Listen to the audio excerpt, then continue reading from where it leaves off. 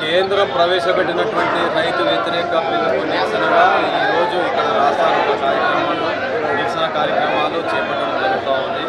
ప్రధానంగా రైతు సుభిక్షంగా ఉంటే దేశం సుభిక్షంగా కానీ ఇప్పుడు రైతు వెన్నముక్క ఇచ్చే విధంగా ఈ బిల్లు ఏదైతే ప్రవేశపెట్టడం జరిగిందో దాని ద్వారా రైతు ఒక శ్రేయస్సుకు విఘాతం కలిగి వారి యొక్క భవిష్యత్ అంతా అంధకారంలో ఉంటుంది. రైతు మన దేశానికి వెనుముక్క మనకందరం కూడా గమనించినటువంటి విషయం. అయితే ఇట్లాంటి పరిస్థితుల్లో రైతు అనేక ఇబ్బందులు ఎదుర్కొని సంవత్సరం పొడవునా రాత్రి భవన్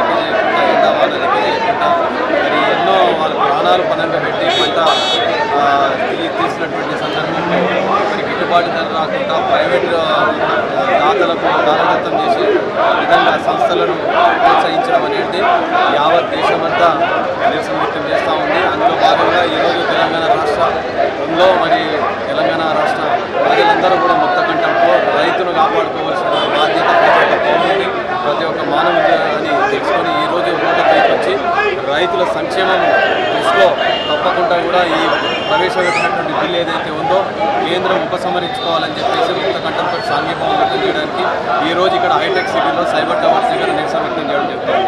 ఒకటి వాస్తవం ఈ నిరసన ద్వారా తాత్కాలికంగా ఇక్కడ ప్రయాణిస్తున్నటువంటి ప్రయాణికులకు అసౌకర్యం జరుగుతుండొచ్చు విలవిలలాడుతూ ఉండొచ్చు ఒక గంట రెండు గంటలు.